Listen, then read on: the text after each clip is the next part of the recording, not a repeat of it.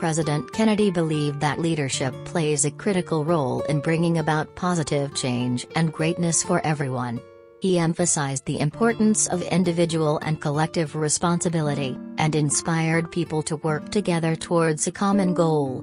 Based on his principles, here are some actionable steps that world leaders could take to bring life, liberty, and the pursuit of happiness into the lives of everyone on Earth.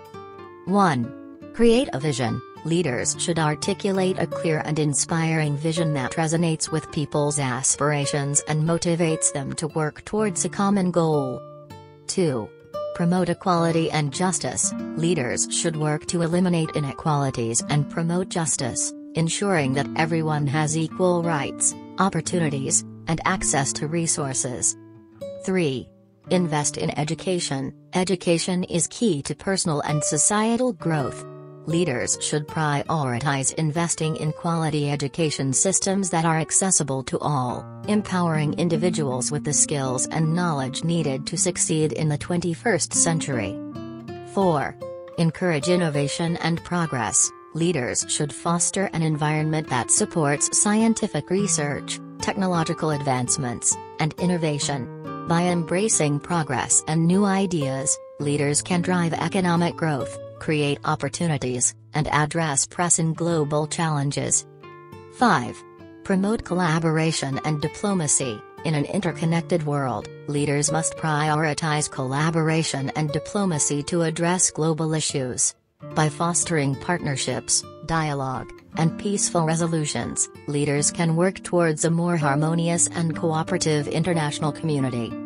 6. Uphold human rights and dignity. Leaders should champion the protection of human rights and promote inclusivity, diversity, and social cohesion. Respecting and valuing the dignity of every individual is essential for creating a just and compassionate society. 7. Lead with integrity and transparency. Leaders should act with integrity, honesty, and transparency, earning the trust and respect of the people they serve. Open and accountable governance fosters a culture of trust and encourages citizen engagement and participation.